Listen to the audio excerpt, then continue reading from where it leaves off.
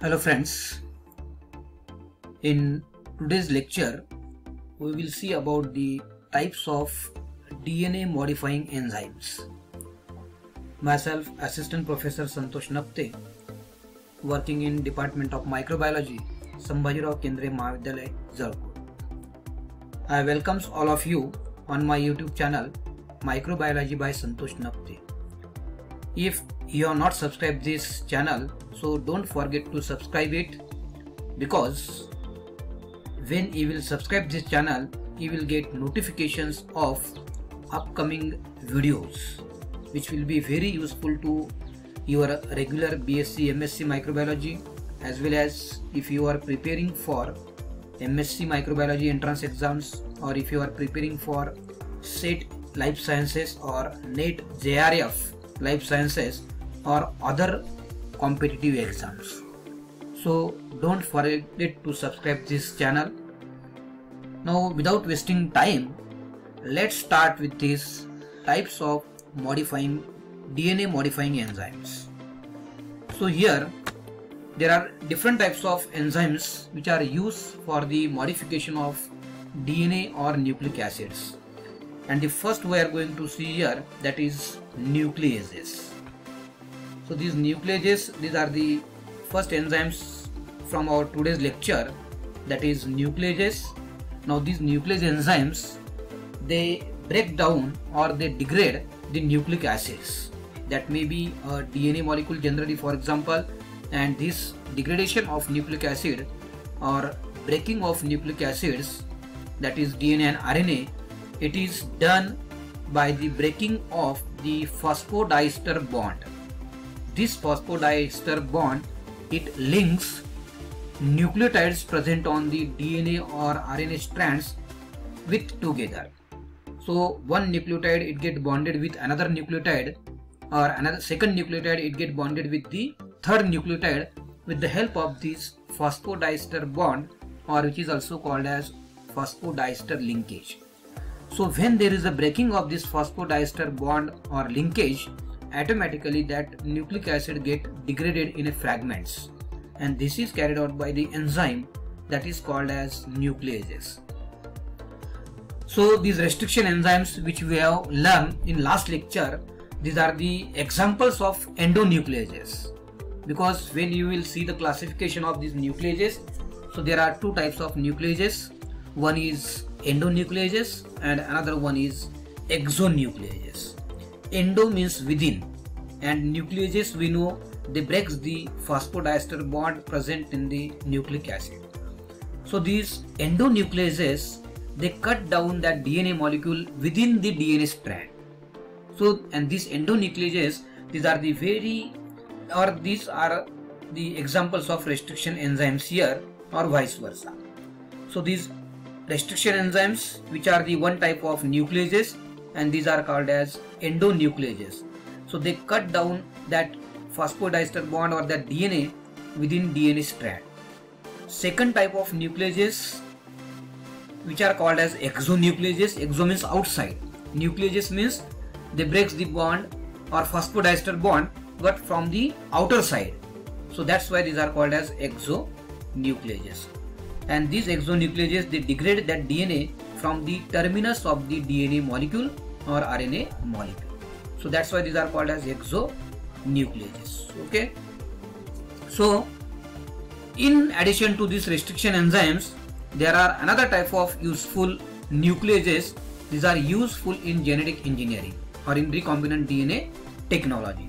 And this another type of restriction that uh, nucleases that includes BAL31 then exonuclease 3 then deoxyribonuclease 1 or that is called as DNase 1 and S1 nuclease which is also a endonuclease. So all these enzymes they differ in their mode of action and at the same time they provide the genetic engineer with a different strategies for the breaking of that DNA molecule into many fragments.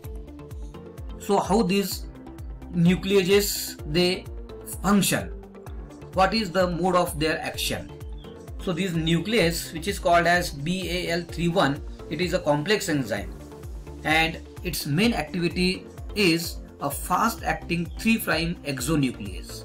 So it is acting from the 3' end of that DNA strand and it is coupled with a slow acting endonuclease. And when this BAL31 is present at high concentration, then these activities they effectively shorten that DNA molecules from the both terminus or from the both ends of that DNA molecule. Another one is here exonuclease 3. It is a 3' prime exonuclease. So now you will understand here what is mean this or meaning of this exonuclease. So this exonuclease 3 it is acting from the outside. So that generates the molecules with protruding 5' prime terminus or that end will be 5' prime terminus. Next enzyme or exonuclease uh, is that is DNase 1. So it cuts either single stranded or double stranded DNA at random sites. And another one enzyme or nuclease enzyme is nuclease S1. It is specific for single stranded RNA or DNA. So this nuclease S1 it cleaves that phosphodiester linkages in from the single stranded RNA or single stranded DNA. So these are the modes of action of all that four nucleases, these four nucleases. Now next we will see in detail as I told earlier here that nuclease BAL31 it is a complex enzyme and it is fast acting 3' exonuclease that we have seen. So here that we have also seen this action here. Now in addition to that DNA specific nucleases there are another type of nucleases which are called as ribonucleases or this is called as RNases. So these ribonucleases specifically they act on the ribonucleic acid which is a genetic material in some viruses. So these ribonucleases they are required for the many stages in the preparation as well as analysis of the recombinant molecules and they are usually used to get rid of unwanted RNAs, RNA molecules in the preparation. So if there is a presence of unwanted RNA molecule in your sample or in your preparation, so that RNA molecule can be cleared into the fragment with the help of these RNases. But as well as these are useful that ribonuclease they can pose or they can cause some unwanted problems. For example, they are remarkably difficult to inactivate and can be secreted in sweat. So another type of enzymes or DNA modifying enzymes these are called as polymerases. So this polymerase enzyme they synthesize or they are very important in the synthesis of copies of nucleic acid molecules and they are used in many procedures of the recombinant DNA technology or genetic engineering. Now when that polymerase enzyme we consider so that DNA dependent or RNA dependent generally two terms are used here DNA dependent polymerases or RNA dependent polymerases. So these are used to indicate the type of nucleic acid template that the enzyme uses. For example, if that polymerase enzyme they are using a template from DNA molecule then this is called as DNA dependent polymerase. If that polymerase is using template from the RNA molecule then it is called as RNA dependent polymerases. So that polymerases these are DNA dependent polymerases and these are RNA dependent polymerases and that dependent it indicates the type of nucleic acid template that this polymerase enzyme is using. Therefore DNA dependent DNA polymerases they copies DNA into DNA and RNA dependent DNA polymerases they copies RNA into DNA. So this is the RNA dependent DNA polymerase. So they copies RNA molecule into DNA and DNA dependent RNA polymerase it means these polymerases they transcribes that DNA molecule into RNA then that polymerase is called as DNA dependent RNA polymerase. So all these enzymes they synthesize nucleic acids by joining many nucleotides with each other and the bases of these nucleotides these are complementary to the template strand bases. For example, if the nucleic acid if it consists of suppose these are the two strands or template strand here and if there is the presence of adenine then there is the presence of thymine here then there is the presence of cytosine and then there is the presence of guanosine for example so this is called as the template strand here. And when there is a new strand is synthesized with the help of these polymerase enzyme so there is a complementary base pairing will be there. So there is the presence of double hydrogen bonds here and the nucleated on the second strand that will be thymine. Again here there is a double hydrogen bonds are present here and the nitrogen base or nucleotide. On the other another strand it is adenine containing adenine. Here there is a three hydrogen bonds are present here like this and the nucleotide present on the second strand it will be guanine and again here there is a three hydrogen bonds will be there and the nucleotide which is present on another strand that will be cytosine. So in this way there is a synthesis of this dna new dna molecule having complementary base pairing. Okay? And this synthesis it is carried out by these new polymerases now this synthesis it proceeds in the 5 prime to 3 prime direction because subsequent nucleotides addition requires free 3 prime hydroxyl group for the formation of this phosphodiester linkage. Suppose here that synthesis will be takes place in the 5 prime. Suppose this is the 5 prime end and this is the 3 prime end. So that synthesis will take place in this direction here. And whatever this bond is present between this nucleotide containing thymine and adenine that is called as phosphodiester linkage. Okay. So this requirement it means that a short double stranded region having exposed 3' hydroxyl group it is necessary for the synthesis of beginning okay so these polymerases these are the copying enzymes of the cell and these enzymes are template dependent and can be used to copy long stretches of DNA or RNA. Why these are called as template dependent?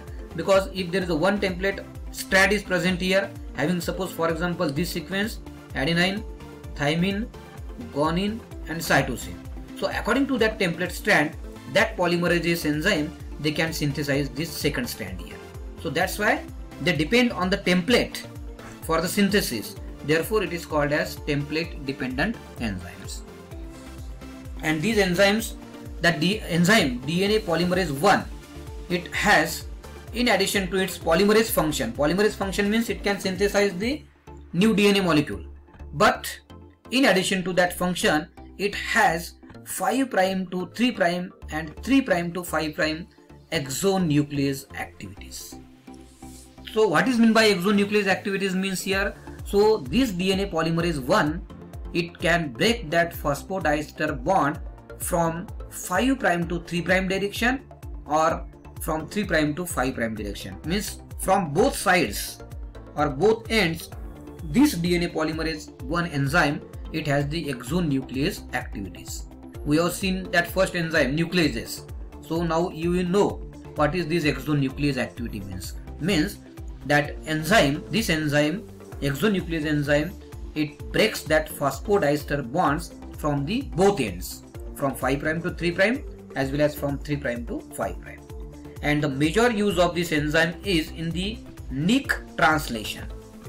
In the nick translation procedure for radio labeling of DNA molecule.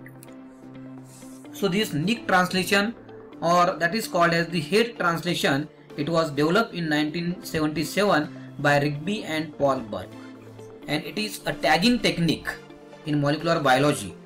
So in which the DNA polymerase is used to replace some of the nucleotides of DNA sequence with their labeled or radio labeled analogs.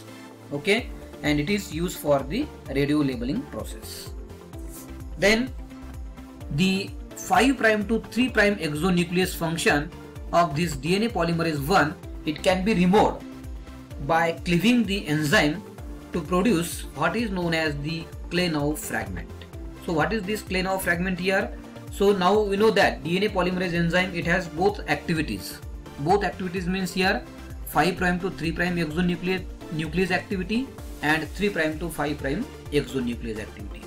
So if you break or if you remove the 5 prime to 3 prime exonuclease activity of this DNA polymerase 1 then the remaining portion having only 3 prime to exo 3 prime to 5 prime exonuclease activity. So that remaining enzyme it is called as Klenow fragment. So it retains the polymerase and 3 prime to polymerase activities will be there.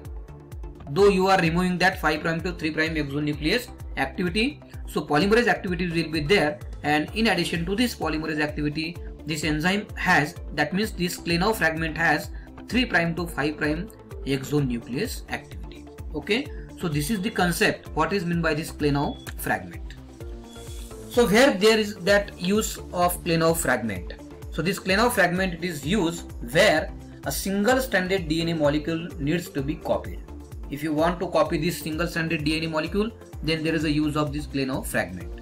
Because the 5 prime to 3 prime exonuclease activity of this enzyme it is missing in Klenow fragment and therefore this enzyme it cannot be degrade the non-template strand of double stranded DNA when there is a synthesis of new DNA molecule and therefore this large or Klenow fragment of DNA polymerase 1 it has DNA polymerase activity and in addition to that it has 3 prime to 5 prime exonuclease activities and these are mostly used in molecular biology techniques. Say this is the DNA polymerase 1 structure of DNA polymerase 1 this is called as the holoenzyme it means it has the polymerase domain which carry out the polymerase activity it has 5 prime to 3 prime exonuclease activity and it also has this one that is 3 prime to 5 prime exonuclease activity so all these activities are present in DNA polymerase 1. When there is a proteolysis is done, so there is a removal of that portion having this 5 prime to 3 prime exonuclease activity. Now this enzyme consists of two portions here. This is one for example that is called as the polymerase domain and this is second which is called as the that is known as 3 prime to 5 prime exonuclease domain or large fragment. Now this two part collectively it is known as the Klenow fragment. Okay, so this is the structure. So the next one is here DNA polymerase 1. So this DNA polymerase 1 it is a template dependent DNA polymerase and it catalyzes the 5 prime to 3 prime synthesis of DNA molecule. So in this direction this DNA polymerase 1 synthesizes new DNA molecule and this enzyme it also has the 3 prime to 5 prime exonuclease which is called as the proofreading activity and 5 prime to 3 prime exonuclease activity. So both of these activities exonuclease activities are present in this DNA polymerase 1. Klenow fragment it is the large, large fragment of DNA polymerase 1 that we have seen in this diagram here. When there is a removal of this 3 prime to 5 prime uh, that is 5 prime to 3 prime exonuclease domain then that remaining portion it is called as Klenow fragment and it has 5 prime to 3 prime polymerase activity and 3 prime to 5 prime endonuclease activity. That is called as proofreading. But it lacks 5 prime to 3 prime exonuclease activity of DNA polymerase 1 this is very important okay? So it does not have this 5 prime to 3 prime exonuclease activity. That is then that's why it is called as Klenow fragment. So this is the diagrammatic representation how there is a synthesis of double stranded DNA molecule from the single stranded template with the help of this Klenow fragment. Okay, so this is the oligo oligonucleotide primer having this sequence GAZ-TTC. This is the template DNA molecule, single-stranded template DNA molecule, and these are the Klenow fragment, and that these are the precursors for the new DNA molecule. So that is deoxyadenosine triphosphate then D-cytidine triphosphate, D-guanosine triphosphate, then deoxythymidine triphosphate. So these are the deoxyadenine uh, adenosine triphosphate. These are the nucleotides. And according to this template strand, there is a synthesis of new strand takes, place here with the addition of complementary base pairs. So this is the mechanism how that new strand is synthesized. Next polymerase or DNA polymerase is it is called as the T4 DNA polymerase. So that T4 DNA polymerase, it is also a template dependent DNA polymerase and it catalyzes 5 prime to 3 prime synthesis from the primed single stranded DNA. Suppose this is the single stranded DNA molecule and this is the primer. So when such conditions are available that is one template strand and there is a primer.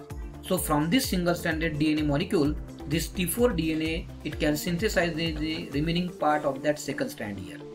And that enzyme, it has 3 prime to 5 prime exonuclease activity, but it lacks or it does not have 5 prime to 3 prime exonuclease activity which was present in DNA polymerase 1. Okay. So this is about the DNA T4 DNA polymerase.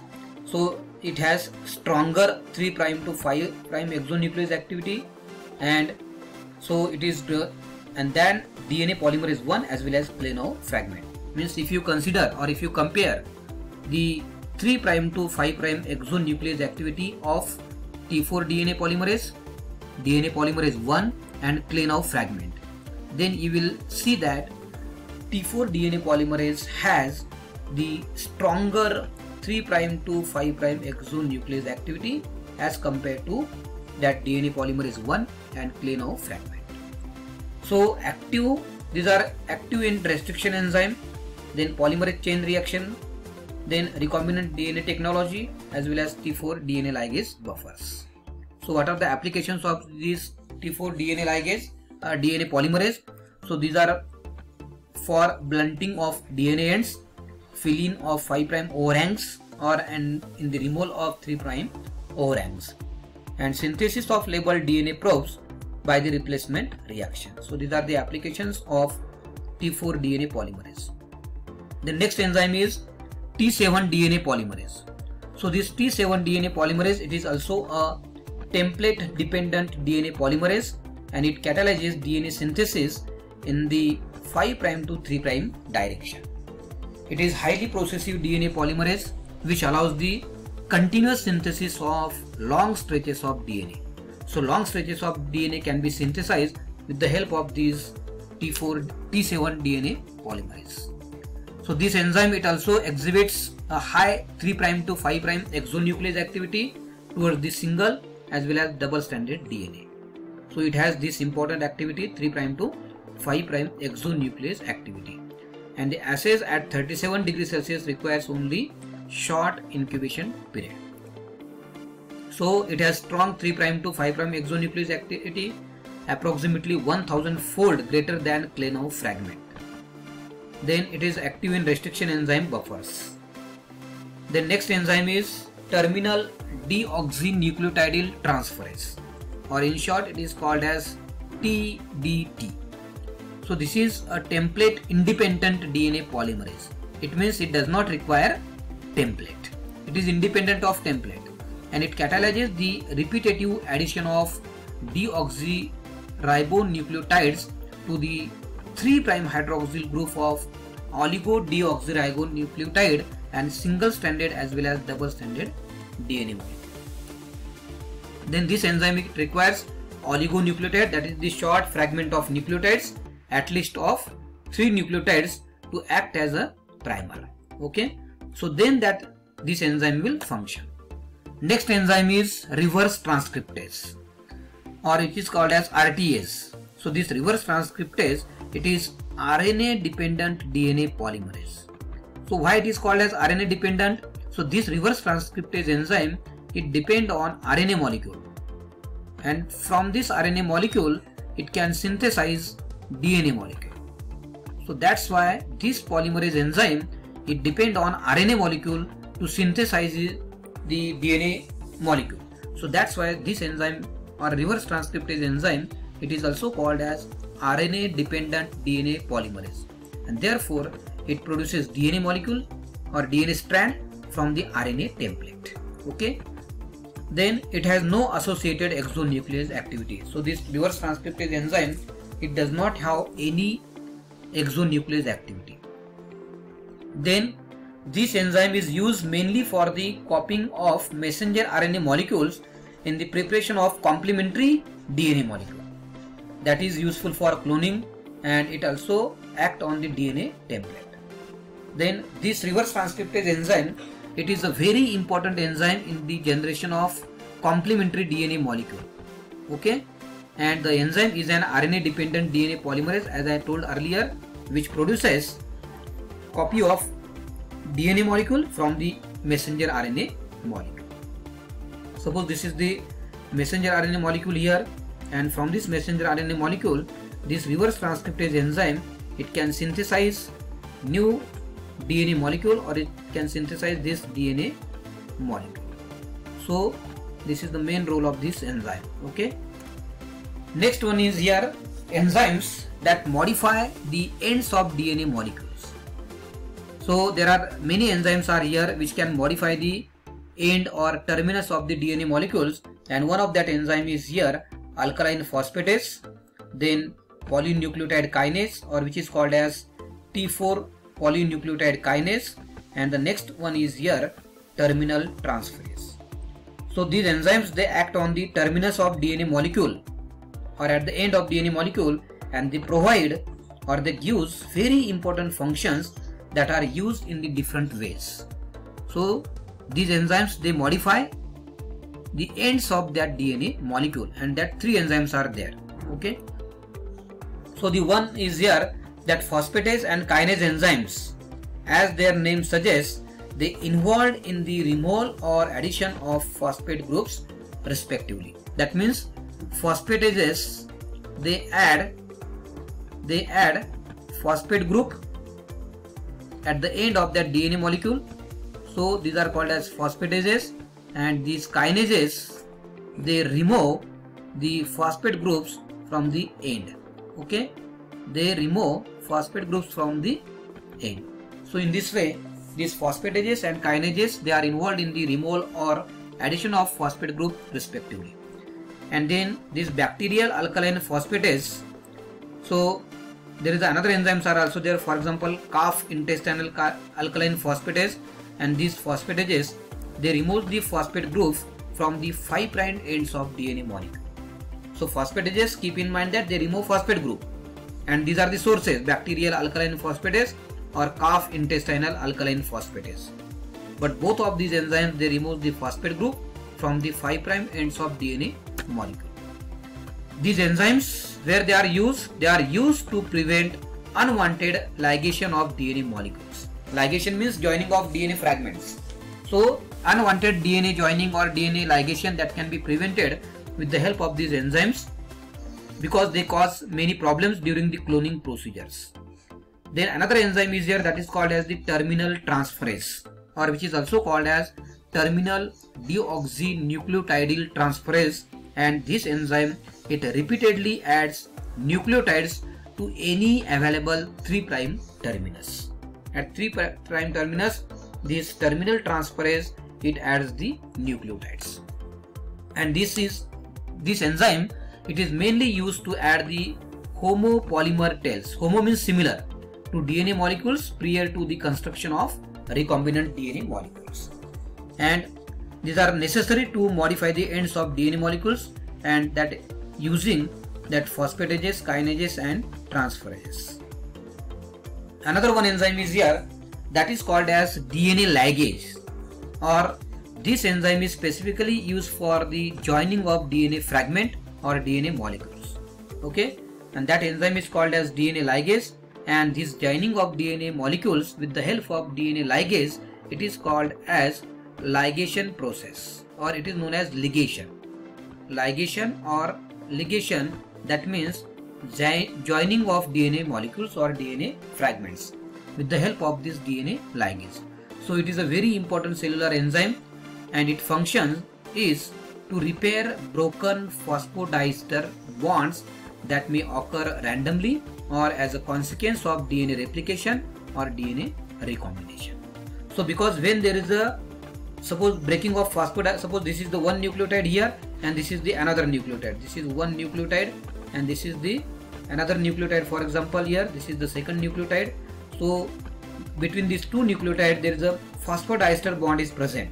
But suppose here there is no phosphodiester bond and if you want to join these two nucleotides so you have to form or you have to produce your phosphodiester linkage.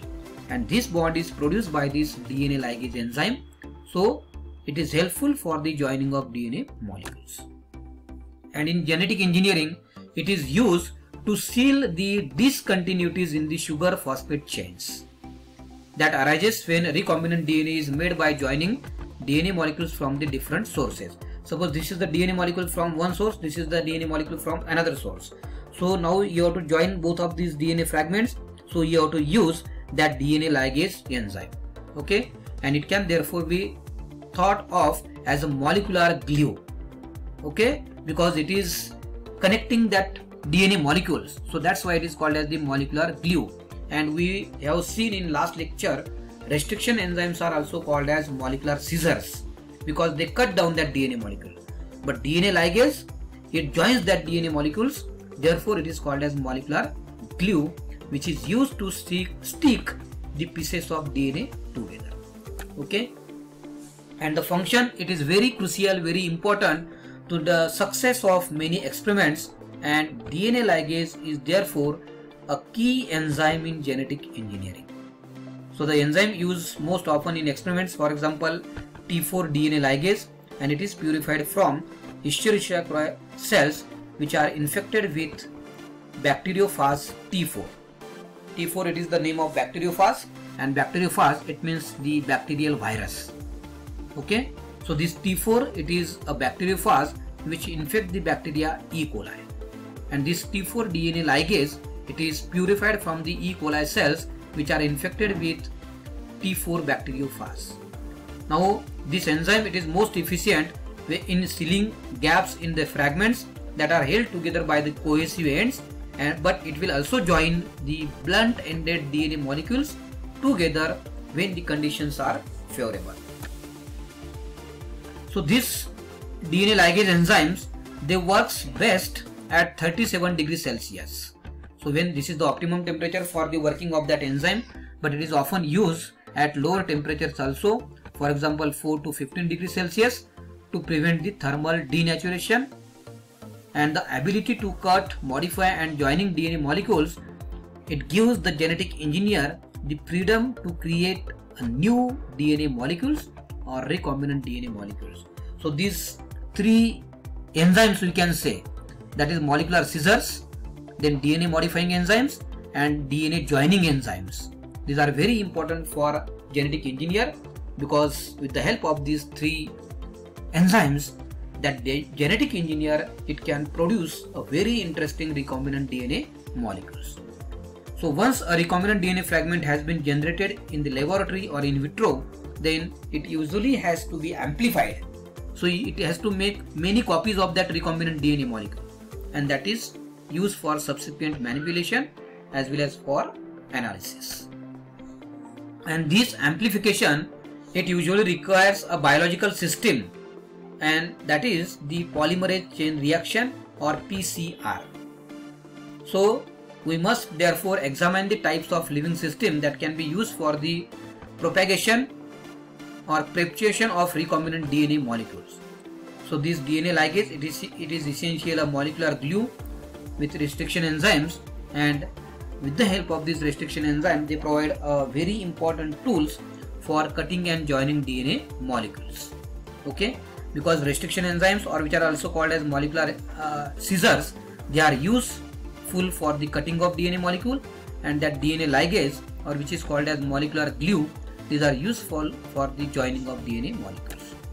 So these are the ligases fast and efficient ligation of DNA and RNA one is the T4 DNA ligase and another one is T4 RNA ligase. So this is the DNA fragment here one. This is the another DNA fragment or plasmid DNA molecule here. Now these are the sticky ends. This one or this one.